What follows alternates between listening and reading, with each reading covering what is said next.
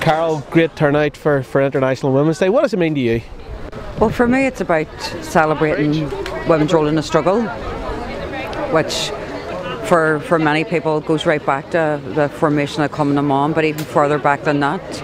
Um, I mean, there's been women throughout our community and our society who've been campaigning for rights for everybody over decades.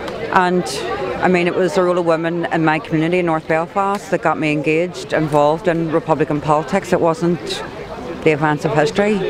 So, um, and it isn't just about gender equality, it's about equality and fair treatment for everybody. So, and that's one thing that we pass on from one generation to another. I mean, you can see a lot of young people here, and I suppose their battle will be different from mine, and mine will be different from the people who came before me. But I think the thread that unites us all together is the Republican ethos and all that comes with it. I know it's cliche, but we're all standing on big shoulders. And I suppose that aspect of International Women's Day is something that's common right across the globe, regardless where you're coming from. So, so the day we're in this garden, built by women for women, and it's totally appropriate that we're here today. Well, I think it's important that we recognise the sacrifice that women, uh, not only in Ireland but all over the world, have, have fought, have campaigned for justice and equality for women. Uh, if you go back over 100 years ago, there, there was an issue uh, around the 1916 rebellion when Cumann na mBan got involved in that campaign. Then you had the issue where women didn't even have the opportunity to vote. You also had the issue where, you know, we, we had women in this state that who couldn't even access proper housing. So women have been to the fore, in my view, to a lot of campaigns, as I say, not only in Ireland but all over the world. So it is important that we recognise that. It is important that we recognise the fact that women are probably uh, to the fore of, of still a lot of them campaigns. But we need to get women involved in the political campaign, in politics, in, in elected office so that they can make a real difference. I mean, I, I got elected when I was a young woman and it was tough. It's, it's still tough today as a woman being in politics. So it's important that we, we make it easier for young women to get involved. And International Women's Day to me allows us to recognise, commemorate, celebrate those who went before us, but they also make it easier for those who are coming after us. All over Ireland, other groups like ours, filled with the same intensity, the same determination to make the Irish Republic, no matter how short-lived, a reality of which history would have to take account. Margaret Skinnider, Cumann na mBan, St Stephen's Green, Easter 1960. Women play a comparatively strong role in the Rising and Civil War, but afterwards disappeared into oblivion, gaining little or nothing in the rights of women. We have only ourselves to blame if such reoccurs. It's our country, and as women nationalists active in the struggle, we must not halt at the halfway mark, but follow it through until we have achieved all our aims. PRO, protesting POWs, Armagh Jail, International Women's Day. A small minority, the Republicans, refused to be humiliated and passed down the torch of resistance from generation to generation. I'm not su surprised I became a Republican activist. I am proud to have been close to the blanket men, to the women in Armagh and to the hunger strikers. We lost 10 brave men in 1981, but the British lost the argument and ultimately lost the conquest. Mary Moore, Belfast First Sinn Féin Deputy. or volunteers. And the men ought to remember that without sacrifice of women, there would be no struggle. IRA statement. Everybody in this country is oppressed, but we can only end our oppression as women if we end the oppression as a nation as a whole. But I don't think that alone is enough. This isn't the first time that women have been seen as secondary. But women today have been through so much that we refuse to let this be. I hope I am still alive when the British are driven out and the struggle begins anew. Mairéad Farrell. As a young woman, it's just very important. It's, today is all about empowerment. It's all about empowerment of women, and what better place to do it than through Sinn Féin? You know, as a young woman, I feel very empowered by Sinn Féin to, to represent my community. Um, I feel very supported by Sinn Féin in terms of, you know, the efforts that they put in to help me achieve you know my potential. So I think it's very important events like this just to mark the sacrifice that women have made as the republicanism over the past you know hundreds and hundreds of years. And also it's it's a time to look to the future. Um, it's a time to think about our young women that are coming through. Um, and many of the young women here today are just fantastic. You know their energy their enthusiasm their motivation.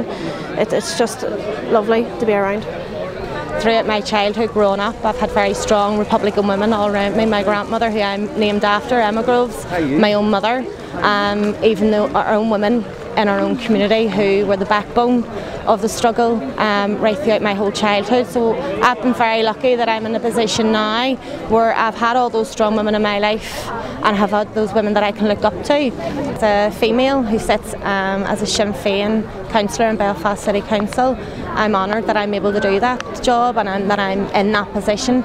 Um, because of the women that have came before me that have paved the way for me to sit as a Belfast City Councillor and I hope that in my role um, as a female, as a Republican, that I can pave the way for our future generations, not just females but also males as well, to take up the gauntlet as we move on forward in the struggle.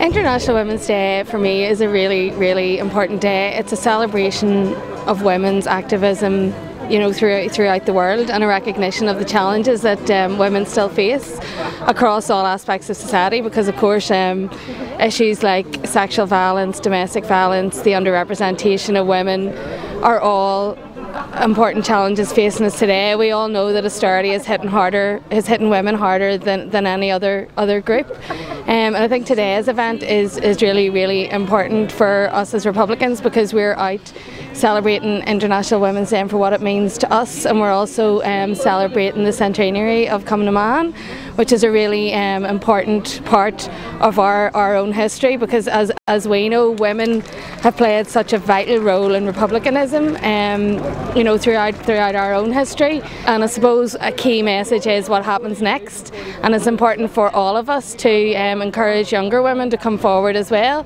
and to continue building building that strength. One man, one vote, the right to decent housing, and an end to British gerrymandering. And what was the state's response? To those very basic requests.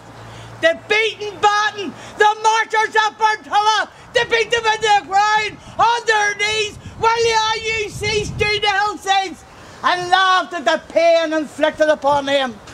But we're not on our knees. No! No! The croppy boy will never lay down. Like a phoenix rises out of the ashes, you, the people. And as always, it's not those that can inflict the most, but those that can endure that will win the battle.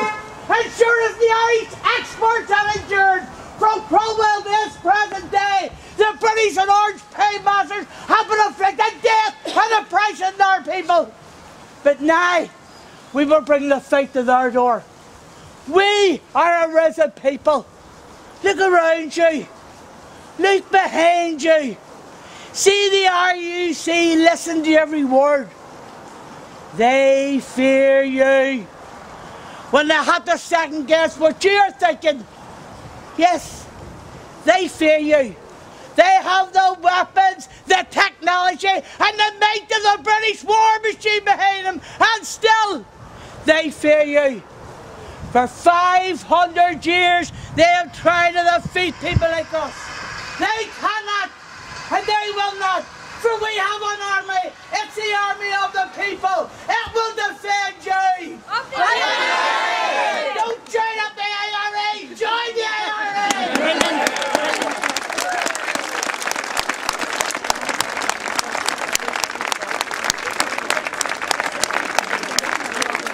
It was a very good turnout to the, the garden today to commemorate uh, International Women's Day and obviously with it being the centenary year of the Cumann na mBan, I tried to get the message across about the people, the struggle that they had um, many years ago and obviously there's a wee bit of improvement for women today and the struggle needs to continue.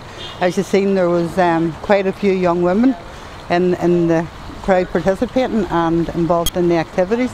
So with the elections coming forward and so many young candidates coming forward for the elections in the 26 and the six counties, uh, and I hope those young women who have put themselves forward for election do get elected and uh, they continue the fight that we talked about and we commemorate it here today. Oh, it was a fabulous event, and it was great to see so many young women in particular here, you know. And I mean, I think the importance of today is that while we're remembering people in, in other countries internationally that are still suffering, it's also a celebration for women.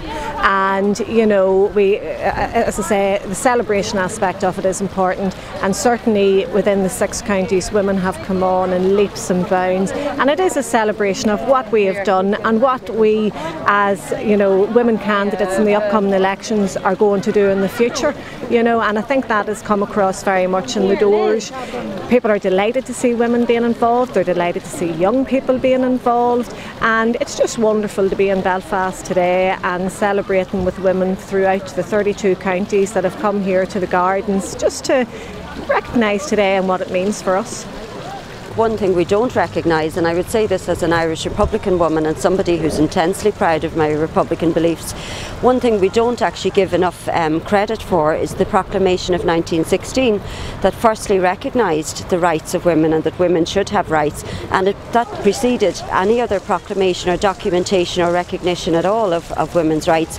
So, in that sense, it was Irish Republicans once again that recognised rights for all, and at a time when, when people throughout the world did not not recognise women's rights and looked upon women as, as second class citizens.